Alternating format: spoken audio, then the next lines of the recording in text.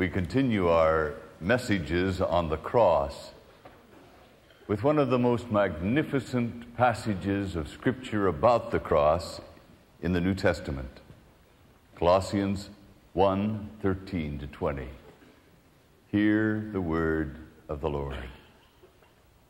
God has delivered us from the power of darkness and translated us into the kingdom of the Son of His love in whom we have redemption through his blood, the forgiveness of sins. He is the image of the invisible God, the firstborn over all creation. For by him all things were created that are in heaven and on the earth, visible and invisible, whether thrones or dominions or principalities or powers.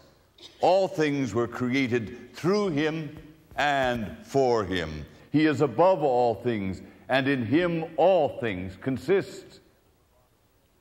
And he is head of the body, the church, who is the beginning of the firstborn from the dead, that in all things he may have preeminence.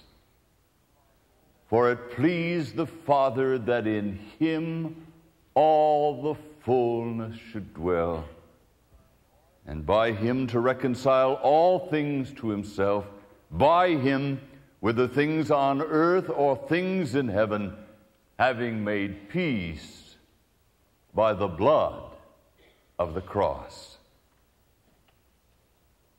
Let us pray. Gracious God, help us to understand the deep meaning of Calvary. In your holy name. Amen. I want to make you three wonderful promises. You can experience a miracle. You can be a miracle.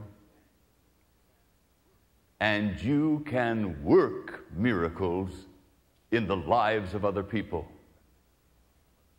Now, that may seem like quite an audacious promise. Uh, for the beginning of a sermon, but I mean it.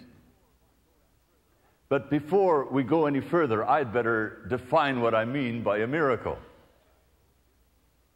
A miracle is the interposing of divine power acting according to higher laws than we have observed in the natural process of human nature and the natural world. It is an invasion into human life with supernatural enabling power to accomplish what we can only understand dimly because we are tied to our own limited understanding based on our human laws and our observation. Now, let me define the realm in which I expect miracles to happen right now. It's the realm of our relationships. Our relationship with God, with ourselves, and with other people. Now, if a miracle is the working out of a higher law and a greater power in the midst of our normal understanding of how things work, then the greatest miracle God can perform is the miracle of forgiveness. It took a miracle to put the stars in place. It took a miracle to hang the world in space. But when the Lord saved my soul, cleansed and made me whole, it took a miracle of His love and grace. There are times that we think of forgiveness as something we ought to do and seldom do. The reason it's so difficult for us to receive forgiveness and forgive ourselves and forgive other people is because there is ingrained in our nature the image of God, but we haven't understood or received the nature of God. There is a lex talionis right in our genes, in the very fiber of our being. It's the law of retaliation hurt, punishment, hurt, and further punishment. And so the cycle goes on and on insult, injury, retribution, anger, and it goes further, repeating itself over and over again. Most of us live by that law. We want to get even and keep all of the scales balanced. My rights, what's been done to me, what I deserve, how I want to be treated. And when people don't measure up to our standards, there is something inside of us that responds with judgment and then punishment. And then we take people hostage. They become the hostages of our feelings. And we put them into the prison of our judgment and keep them there until we decide that with our affirmation and encouragement, they can go free. That's why I want you to experience a miracle, to be a miracle, and accept your authority to perform miracles. Because right now, the power of the living God is applying unto our distorted quid pro quo law of retaliation, his own law, his higher law.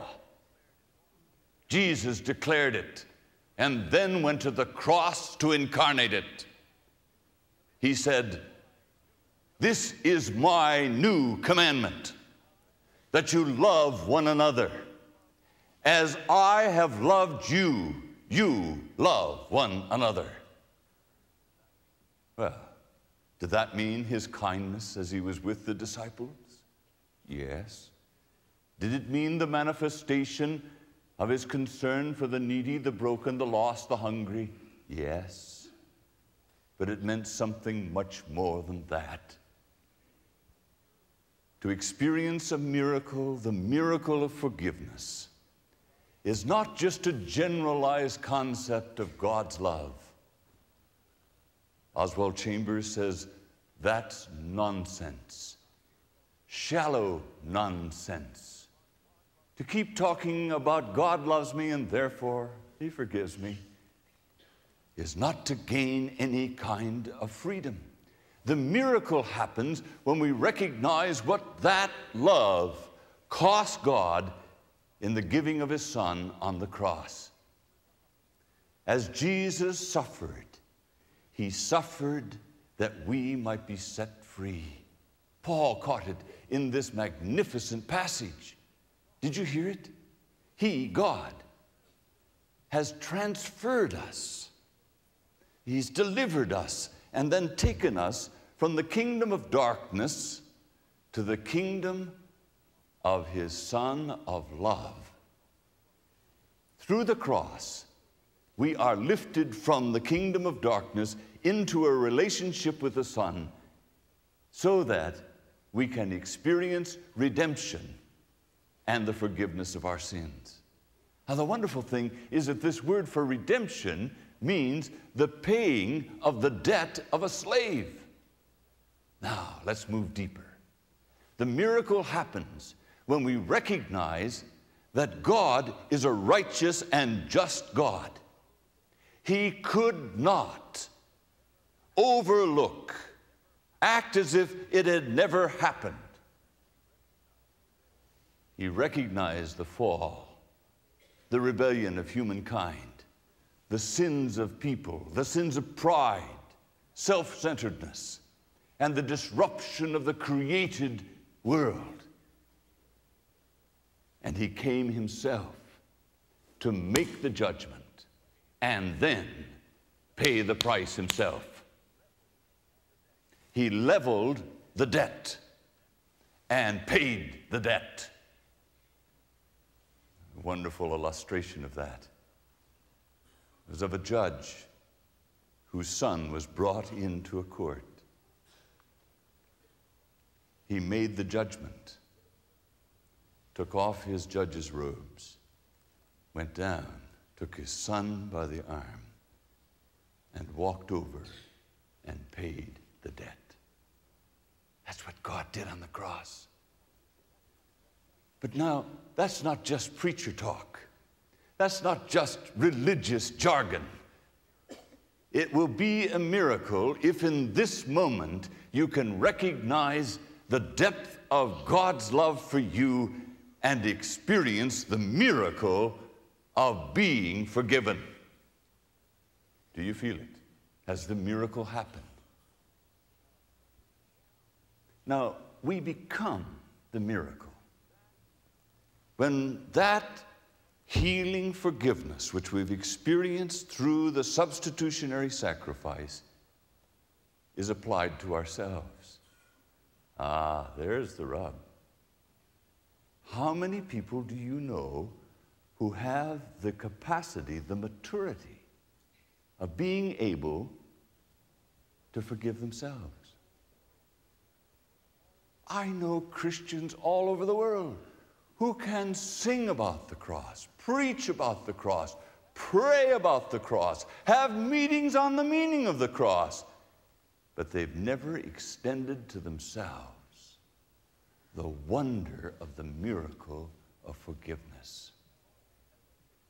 It's only as we experience that that we can set aside our self justification and our self incrimination that brings us into self justification and our constant effort to somehow earn our right with God. Now, let me ask you a question. In times of quiet, do memories of failures come floating back?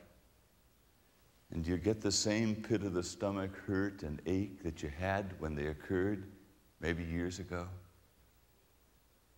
Do you ever see a person and suddenly, all of the memories of what that person said or did all come back.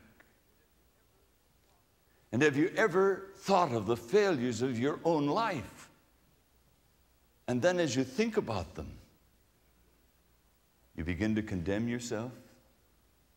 And with the condemnation comes all of the emotional difficulty, the hurt, the pain. And it goes on and on and on.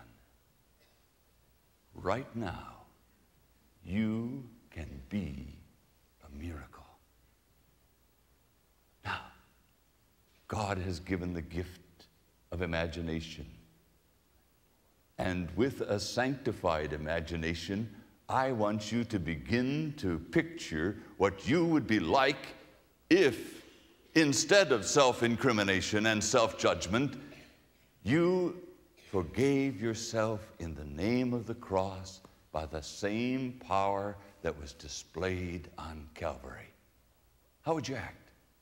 What if you didn't have to always hide those feelings down inside? What if you didn't have to constantly punish yourself? What if you didn't have to wonder about your eternal destiny because of what you've said or done. How would you look? Now, do you see why I call it a miracle?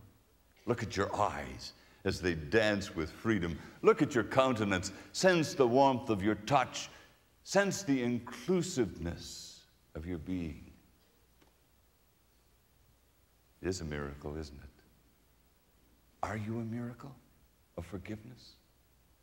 You can be right now. Well, then, once that happens, you see, then we can fulfill this higher law that Jesus has given us love one another as I've loved you. That includes the cross, remember. That means giving ourselves away, caring for people, being willing to suffer if need be for them. Not to repeat the atonement, but to communicate the atonement. Now, is there anyone in your life who needs your forgiveness? You've got tremendous authority. If you've received the miracle and dared to be a miracle, then those awesome things that Jesus said about forgiveness are now given to you. The sins that you bind on earth will be bound in heaven. Those you loose on earth will be loosed in heaven. Jesus said that in response to Peter's declaration that he believed that he was the Messiah. You and I have the power to keep people in bondage by our refusal to forgive them. We can bind them. The authority of absolution has been given to you and me, and if we don't express it, we will keep people tied back, tied down, limited. Now, you can perform a miracle today this week by going to someone who has hurt you or someone against whom you're holding a terrible grudge, practicing that law of retaliation, either by the withholding of your affirmation and encouragement or by some downright outward acts of hostility. Wouldn't you like to perform a miracle? Jesus said, the works that I do, you shall do also, and greater works than these shall you do, for I go to the Father. Well, here's one of them. Start there, and the others will come more easily. Isn't it amazing that after Jesus said, This is my new commandment, then went to the cross to display the meaning of the depth of it, after he was raised up, what did he do? The first thing he wanted to do when he was out of the tomb was get to those disciples. He went immediately to the upper room. He said, Receive the Holy Spirit. The sins you forgive will be forgiven, the ones you bind will be bound. Get going. You've got my power now. There's no limit now. The same power that raised me from the dead is available to you. Receive the Holy Spirit and do it. Have you ever performed a miracle? We talk so much about lengthening legs and uh, doing special physical miracles. I'd like to hear a little more talk about the healing of persons, beginning with forgiveness. You can be a healer inside of most people are racking emotions, turbulent memories. And if you just give them a chance, they can respond and be free and live. Yes, indeed. It took a miracle to put the stars in place. And it took a miracle to hang the world in space. But when God saved my soul, cleansed and made me whole, it took a miracle of His love and grace. Well,